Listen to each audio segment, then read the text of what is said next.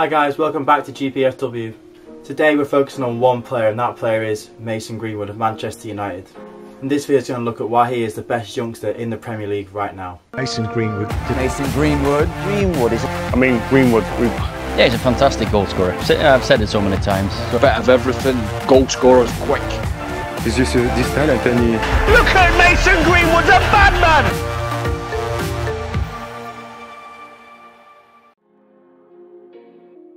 So let's start with the background of him. Obviously, 18 years old, came through Manchester United's academy, and he has been a revelation this year for Manchester United as a young striker coming into the team and making a big impact.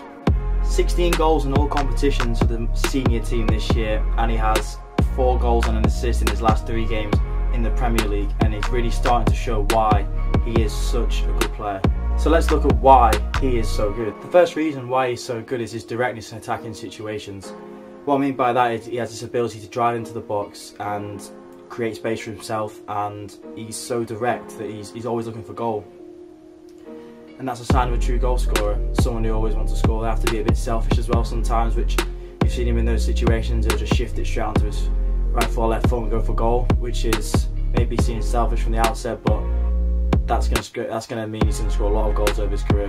Best example of all this coming together is his goal against Brighton away recently when he scored the opening goal. He plays on the right, so he comes driving in from the uh, the right hand side, and he's on his left foot. He cuts in, he's making defenders twist and turn, and he gets he gets his shot off early and, and, and, scores a very good goal in the near post. And the way he drove into the box is reminiscent of a, a young Cristiano Ronaldo when he was at Manchester United. In this goal we see against Norwich as well, he gets the ball, turns the goal, there's four defenders in front of him and he just drives, shifts onto his left foot and gets a shot away, which is very basic. But a lot of strikers would would stop, look for the pass, or you know wouldn't have the confidence to just go and drive and do that. But at such a young age to be able to do that is you know it's, it's great. The second reason why he's so good is that he is extremely bow-footed. Um, obviously, most players are both very capable of both feet, but Greenwood takes it to an absolute another level. Um, and look at this video now, we can see him that he takes a penalty with his right foot against Tranmere and the majority of goals you'll see in this video and you see him score with his left foot.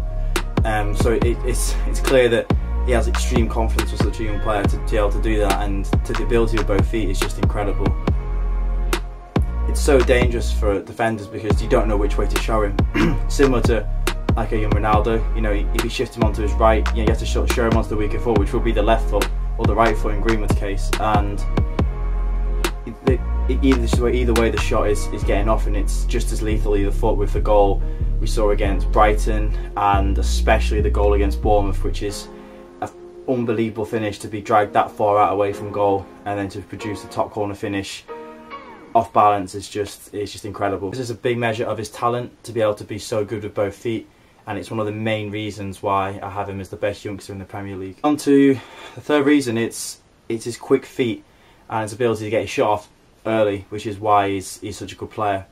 I remember Graham Souness once saying um, that all good strikers have quick feet, and what he means by that is quick feet in the box in theory means it allows you to take the ball into tight areas where there's a lot of players, and it means you can shift the ball into positions where you can get shots away, and then obviously the shots equal goals over a period of time, and Mason Greenwood definitely has that. It comes back to the idea of the directness that I was speaking about before, um, but obviously getting his shots away early means that defenders aren't set, which means they have less chance of blocking the shot, and the goalkeepers are less set as well, so they see the ball later, which means they've got less of a chance of saving it, as we saw again the goal against Brighton and in the goals against uh, Watford as well. So it's something that means he's always going to score a lot of goals. Um, it's, it's, a trait of top strikers, and you know, it's incredibly hard to stop. There were three reasons why I think he's the best youngster in the Premier League. Um, moving on for the future for him, you're looking at him being, you know, in the future to be a, a central striker, but it doesn't mean in the future that he's going to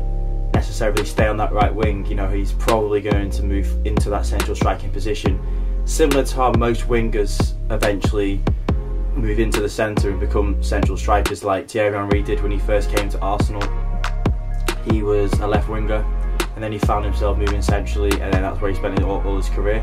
And the same with Cristiano Ronaldo, he's a winger early on, and then you know he transfer, transformed his game into that other central striker, and, and that is I imagine what that's what we're going to see from Greenwood as the years go by. And we've seen hints of this already when he played he plays up front for Manchester United in the Europa League games, and he's been successful there. And also, we've seen him drift into central areas and pick up the ball and, and score goals there. Most notably, the goal against Sheffield United, when Marcus Rashford played, you know, really, really good crossing, and we saw Mason Greenwood picking up a position that is something that you would see from a seasoned striker, um, right in the middle of the, the six-yard box, and he was there to, to tap the ball in, which may seem just like a, a simple thing, but for him to be able to, you know, pick up those positions, we've not originally been playing there. He came on, on the right wing. Um, it, it, shows that he'll be able to do that in the future, and we'll see him move into that central striking role for Manchester United and England. In terms of comparisons, obviously the best English youngster probably of all time, or the top two definitely are Michael Owen and uh, Wayne Rooney. And Wayne Rooney is the comparisons are very much there. You know, for both young English uh, Manchester United players, both forwards. Um, you know, and it seems that he's on the way to to greatness. Um, Rooney was scoring at the same the same age. He was scoring 15 goals and eight assists. You know, at 18 and 19 in the Premier League, which is you know great, good stats for anyone. Never mind an 18 year old, 19 year old coming into the team. So um, Greenwood so far is on nine goals in the Premier League, but at the age of 19, Michael Owen had a nine goal season and an 18 goal season in the Premier League. So it just shows how how the level that these players, are, you know, they want to aspire to, Green wants to aspire to these two are top top players, and Michael Owen won the Ballon d'Or at 21, which was a year before Messi won it. So that can show you just how, how high the levels are, and if the comparisons, you know, continue to be linked to Rooney and, and Michael Owen. You know that Green was on track to have, you know, a fantastic career. If you look at the comparisons here, it's the Prem record before turning 19 for Wayne Rooney, Cristiano Ronaldo, and Mason Greenwood. It shows here that Wayne Rooney had the the most goals and assists by by quite far with with 23, and Second highest was Mason Greenwood with nine, and Cristiano Ronaldo only had three after well before turning 19. Um, but what what really is important, the stat we see is the minutes per goal involvement with with Wayne Rooney's minutes to goal involvement being 180 and Ronaldo's being 302.